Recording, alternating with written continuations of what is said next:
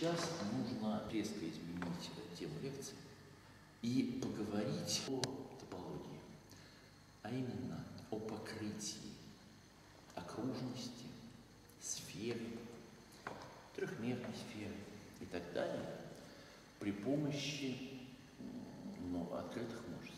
Для тех, кто совсем ничего никогда не занимался топологией, на всякий случай давайте я объясню, э, что такое n-мерное пространство. Это все наборы э, из n чисел, э, где это любые вещественные числа. Да? В обычном трехмерном пространстве три координаты, в n-мерном пространстве n координаты. Так? Что такое сфера? Это множество точек, для которых сумма квадратов – это некоторая конкретная величина. Вот это сфера радиуса 1. Если сфера радиуса r, там будет стоять r квадрат. Как выглядит одномерная сфера? Одномерная сфера – просто-напросто окружность. x квадрат плюс y квадрат равно единице. Двухмерная. Это одномерная. Смотрите, вот это уравнение задает n минус одномерную сферу в n-мерном пространстве. Это очень важно. Размерность сферы на единицу меньше, чем размерность пространства, в котором она лежит. Понятно, о чем я То есть, э, если у вас э, плоскость, то окружность, она одномерная. Вот что такое количество измерений? Это вот сколько направлений, в которых вы можете независимо пойти. Да? Вот здесь реальное направление одно. Соответственно, когда у вас двумерная сфера, то она где лежит? В трехмерном пространстве. Правильно? Это граница шара. Да. Проблем нет? Проблем нет. Хорошо. Так вот, я сейчас формулирую э, понятие открытое множество вместе с каждой своей точкой содержит хотя бы какую-нибудь окрестность. Э, типичный пример открытого множества на природе – это интервал без концов. Понятно, что я сказал? Без концов. Почему это множество открыто? Потому что какую точку не возьмите, вы можете вокруг нее взять маленькую окрестность, которая целиком в этот интервал попадет. Так? Так. Так вот, давайте сейчас докажем ну, такое простое утверждение. Если окружность покрыта двумя открытыми множествами, то хотя бы у одного из них есть две диаметрально противоположные точки этой самой сферы. Я понимаю, что с первого раза тяжело слышать, поэтому давайте сказать, внимательно, внимательно э, окружность покрыта двумя. Заметьте, окружность, она одномерная. Покрыта двумя открытыми множествами. Так вот, в таком случае, в таком случае, хотя бы одно из них содержит две противоположные точки. Поскольку слово противоположные точки будет все время звучать, то иногда для красоты говорят антиподальные. Две противоположные точки. Имеется в виду диаметрально противоположные.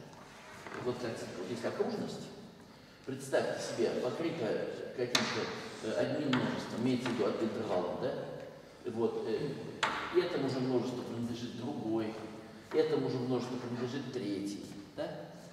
Вот утверждается, что как ни исхитряйся, но если покрыто э, одним открытым множеством и покрыто каким-то другим, и так что вместе покрыто все, то тогда одно из этих множеств должно содержать диаметрально противоположные точки. Множество называется если вместе с каждой своей точкой оно содержит какую-нибудь окрестность, ну, то есть шарик, с центром этой точки. Поняли? Да, все просто. Вот у вас есть окружность. На ней есть э, э, два множества, да? Берем одно из них. Оно открытое? Да. Но они оба открыты. Оно открытое. Значит, оно содержит какой-то интервальчик. Да. Так давайте возьмем э, точку на этом интервале и, например, по часовой стрелке пойдем от нее пока можно. Ну, в математике это называется рассмотрим точную верхнюю грань. Э, Вот, э, просто движемся по часовой стрелке, пока мы находимся в нашем множестве. Ну, если мы так пройдем всю окружность, то, значит, замечательно, ну, просто содержит всю окружность, все хорошо. Э, Если же в какой-то момент мы дальше идти не сможем, то это будет означать следующее. Мы дошли до точки, которая уже что делает? Не принадлежит первому множеству. Но заметьте, все точки перед этим принадлежат. То есть у нас есть точка из первого множества, интервальчик целый из первого множества, а вот эта точка уже из второго. Давайте я напишу. Вот это из множества А, это из множества Б, а все между ними из множества А. Так? Так это же все просто.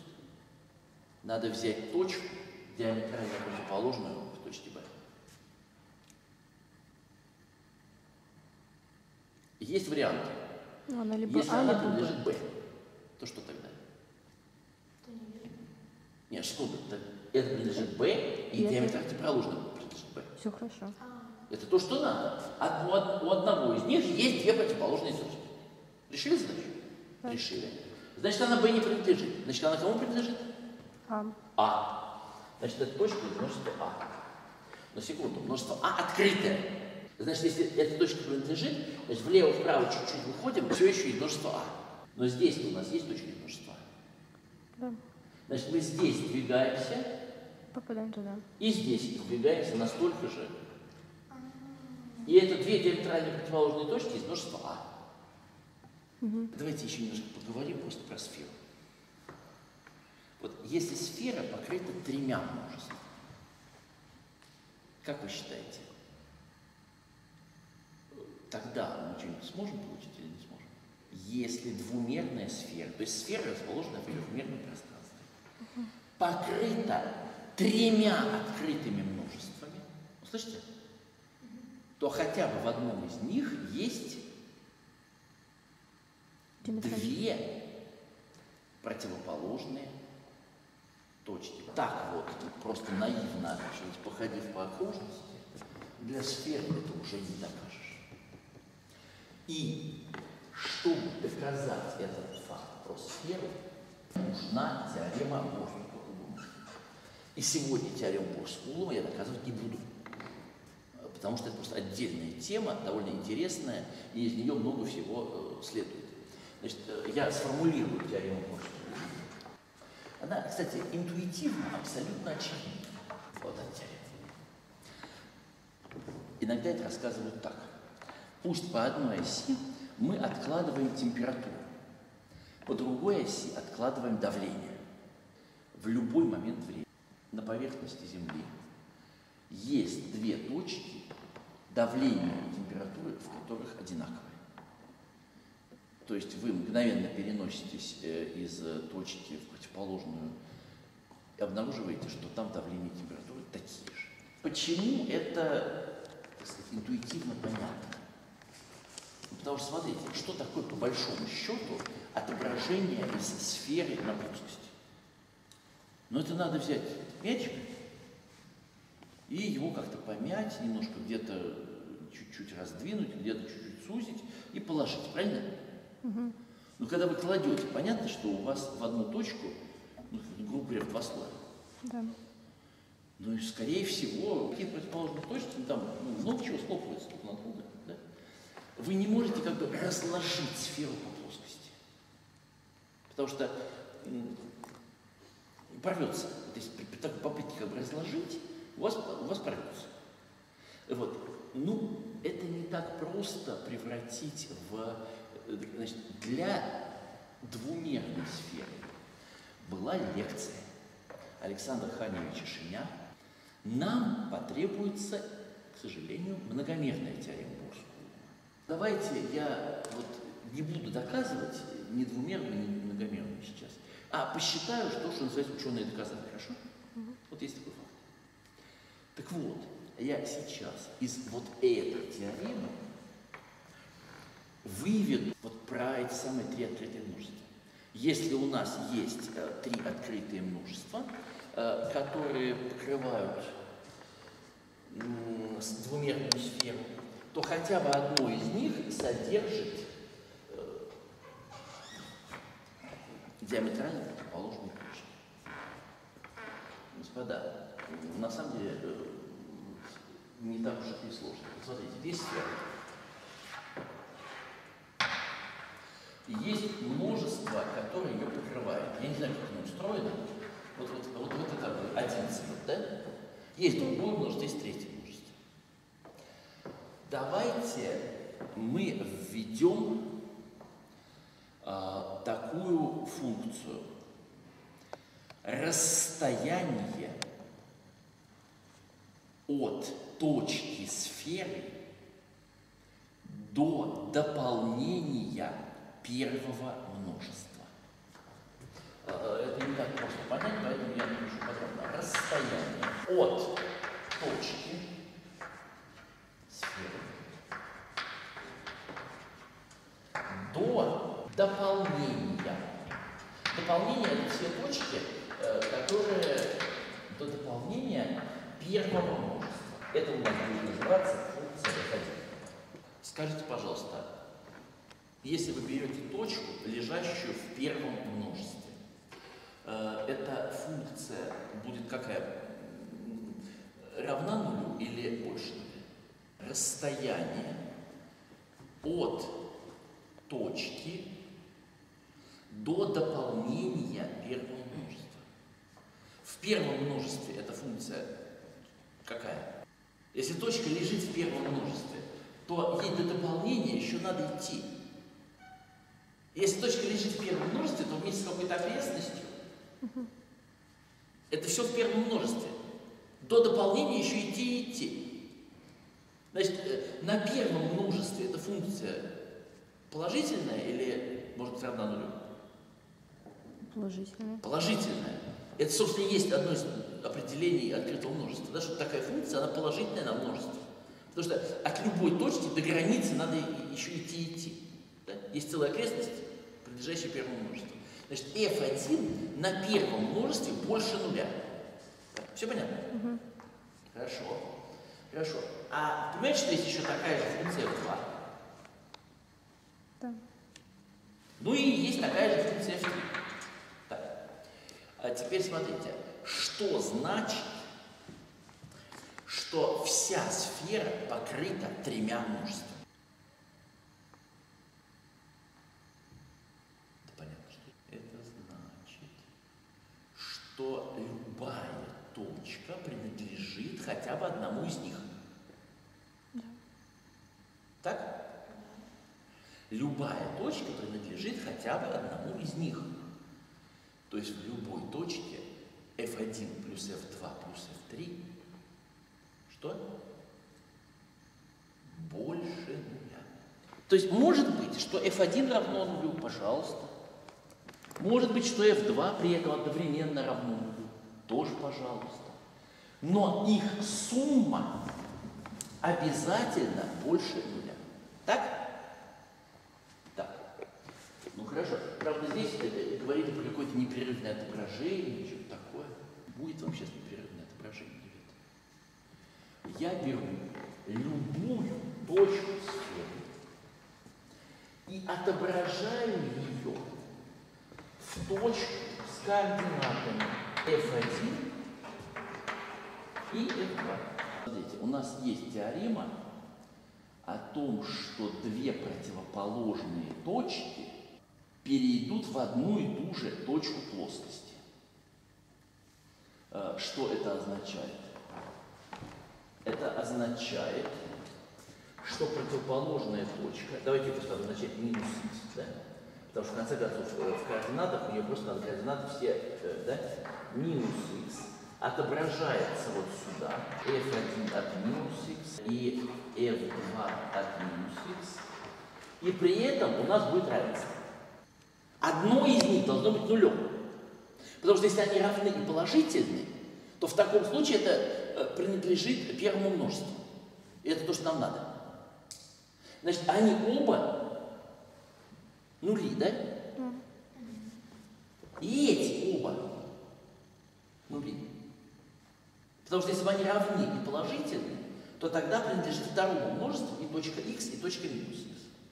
Но значит, это два нуля, и это два нуля, а значит, они принадлежат куда? Третьему множеству. Третьему множеству. Давайте еще раз попытаюсь объяснить э, мысль. Мы, как известным фактом, пользуемся теоремой Борсука-Улма. Понятно? А, теорема Борсука-Улма n-мерная утверждает, что если у нас есть сфера э, n-мерная в n плюс 1 мерном пространстве, и есть ее непрерывное отображение в n-мерную евклидово пространство, то какие-то две диаметрально противоположные точки перейдут в одно и то же. Конкретно, когда двумерная сфера. Если есть отображение двумерной сферы в плоскость, то какие-то две диаметрально противоположные точки перейдут в одно и то же. Вот этим фактом мы пользуемся теоремой Морского. Как мы используем этот факт э, для э, доказательства теоремы о покрытии? Если у нас есть двумерная сфера, для простоты двумерная, хотя в общем случае ровно такой же, просто будет э, функций больше, понятно, для каждого множества будет своя функция. Вот. Если у нас двумерная сфера покрыта тремя открытыми множествами, то рассмотрим функции f1, f2, f3. Функция f1 это что такое? Расстояние до дополнения к первому множеству.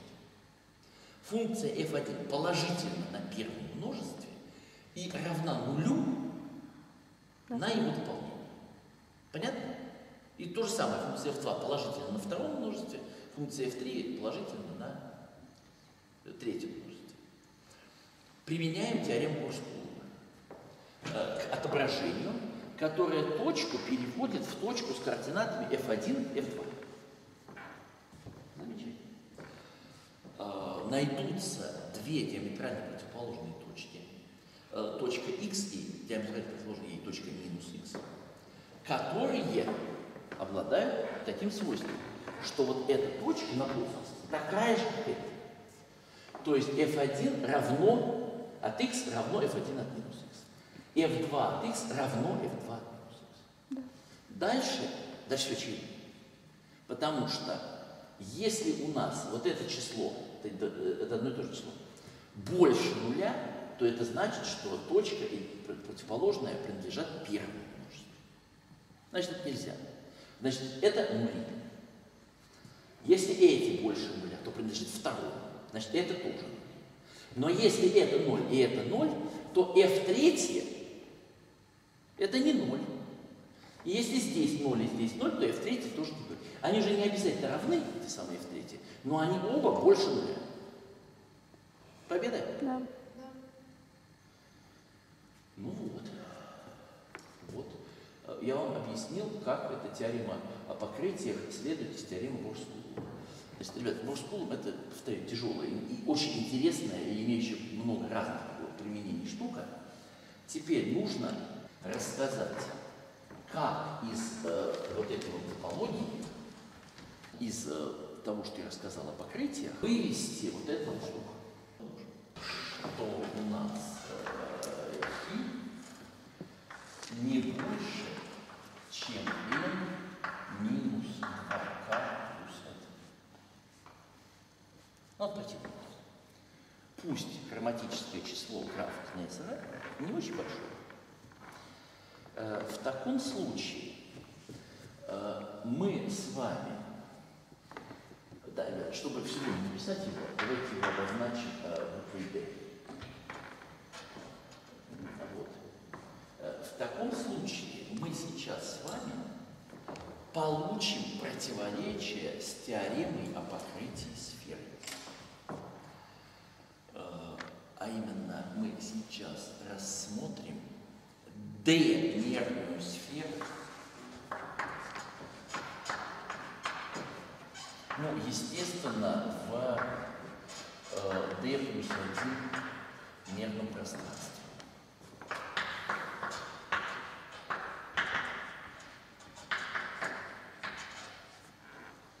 Вот. Итак, у нас имеется м, D-мерная м, сфера. Имеется D-мерная сфера. На ней мы с вами расположим n точек.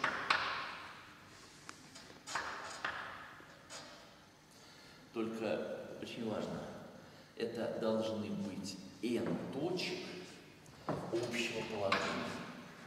На всякий случай, все понимают, что такое, скажем, три точки общего положения на плоскости. Ну, значит, на одной прямой не лежат, никаких две не совпадают, понятно, да? Что такое на сфере а, эти самые точки? Это интересная штука. Вот, э, когда, давайте на двумерной сфере, на, на, двуме, на обычной двумерной сфере, когда вы берете какую-нибудь точку, еще точку, то через них и центр сферы можно провести большой круг сферы, правильно? Так вот надо, чтобы третья точка ни, ни, в коем случае сюда не легла. В случае двумерной сферы две точки могут лежать на экваторе. Давайте большой круг называть экватором, да? Их много таких экваторов. Вот. А вот три уже нельзя.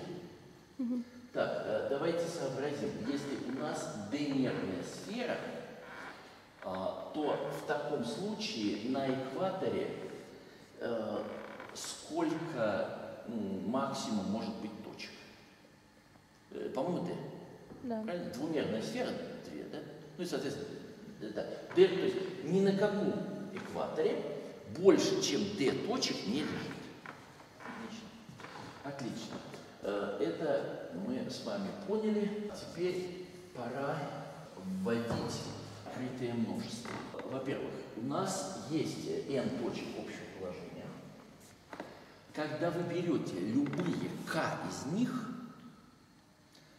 то мы считаем, что они покрашены в один из цветов. Правильно? Да. Мы предположили, что есть такая кра- покраска. И если два множества не пересекаются, то они должны быть обязательно покрашены в разный цвет. Ведь если два К множества не пересекаются, то это означает, что в график Незера там есть ребро.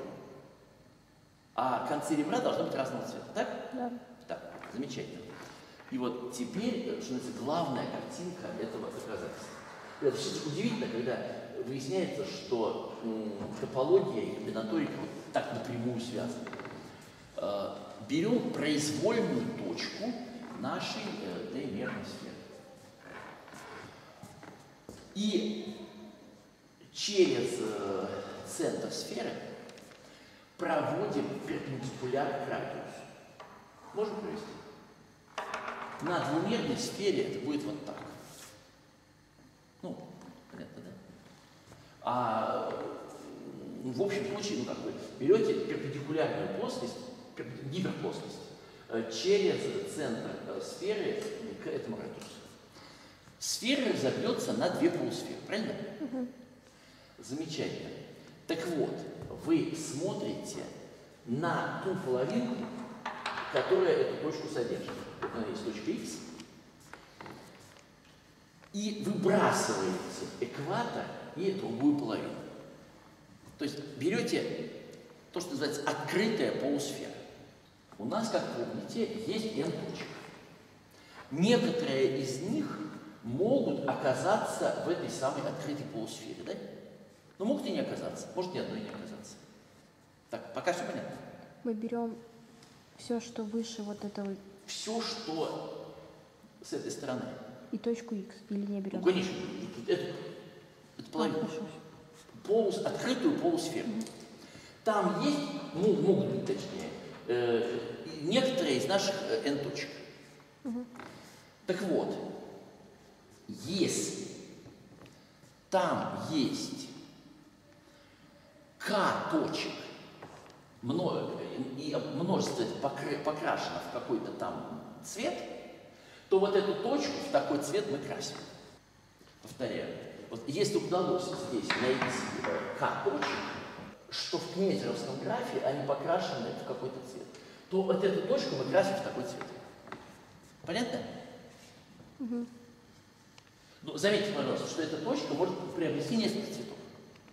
Если у нас здесь есть ну, несколько разных координатных множеств, то эта точка может быть несколько.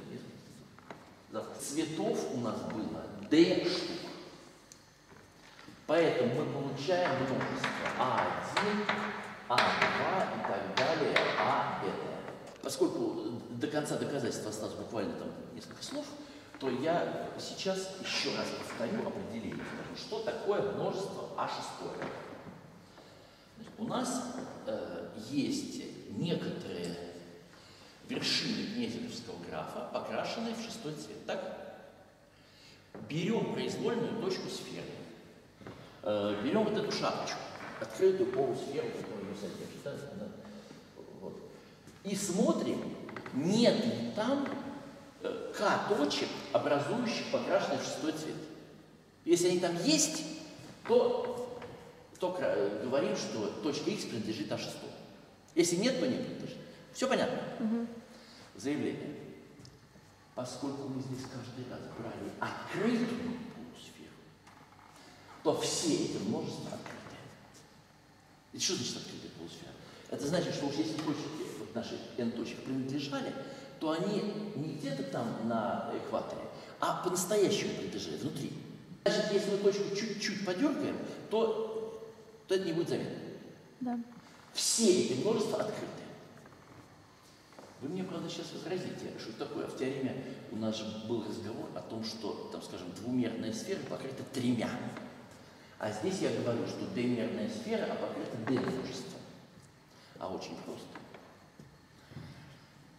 Вообще-то, ни из чего не следует, что сфера будет покрыта этим множеством. Поэтому я возьму еще такое множество все, что не вошло сюда. То есть я беру сферу э, и выбрасываю из нее объединение всех этих h. Понятно? А вот теперь точно сфера покрыта. Обратите, пожалуйста, внимание, все эти открыты. Объединение открытых открытое. Да. А дополнение к открытому замкнутое. Я, правда, не говорил еще, что такое замкнутое. Если угодно, можно сказать, что замкнутое – это дополнение к открытому. Замкнутое множество, как можно доказать в анализе, это обязательно делать в самом начале изучения этой темы, это множество, содержащее все свои предельные точки. Угу. То есть, если у вас есть последовательность, она куда-то стремится, э, то, то предел тоже, с точки зрения множества то предел тоже лежит. И у нас получается вот это множество, давайте назовем э, множество b, у нас получается всего d плюс одно множество. d штук открытых и еще одно замкнутое. Пока все понятно? Угу. Пока все понятно. Вот дальше пошли варианты. Потому что либо у нас с вами какая-то точка и противоположная лежит в одной из ашек, либо какая-то точка противоположная лежит в бэшке. Так сказать нельзя. Потому что теорему мы доказали. Для кого? Для открытых и открытых. А здесь для d открытых и одного замкнутого. Поняли, да?